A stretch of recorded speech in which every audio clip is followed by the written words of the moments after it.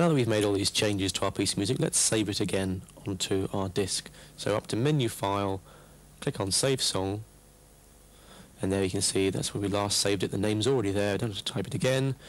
Click on OK.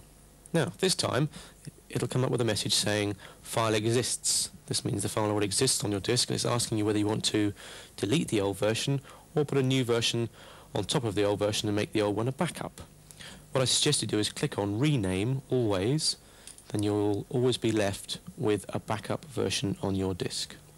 So that's now saving it. So we have two versions on the disk, the old version and the current version. It's telling us how much we've got left. Thanks very much. Right.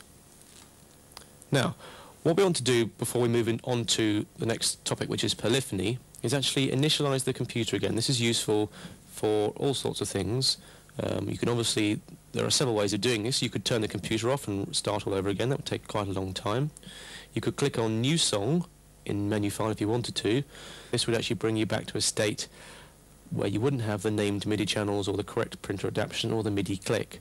So there's another way of doing that, doing that. Putting your program disk, click on Load Song. Let's go back to my program disk. And reload, just by clicking on it, the auto load song.